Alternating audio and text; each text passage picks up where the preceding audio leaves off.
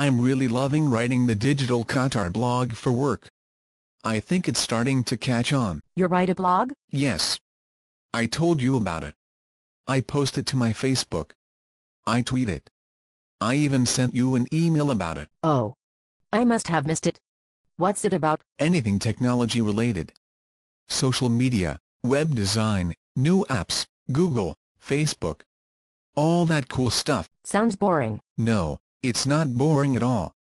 I have blogged about Foursquare, Google TV, Meetup, Open Source, Creative Commons, the iPad, conflict minerals and the Internet of Things. I would read it if you wrote about Lady Gaga. Visit digitalqatar.net to read about Lady Gaga.